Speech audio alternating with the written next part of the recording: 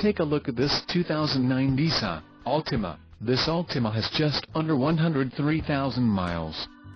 For your protection, this vehicle has an extended warranty. This vehicle gets an estimated 23 miles per gallon in the city, and an estimated 31 on the highway. This Altima boasts a 2.5-liter engine, and has a CVT transmission. Additional options for this vehicle include power driver's seat, auxiliary audio input, climate control and driver airbag. Call 201-200-1100 or email our friendly sales staff today to schedule a test drive.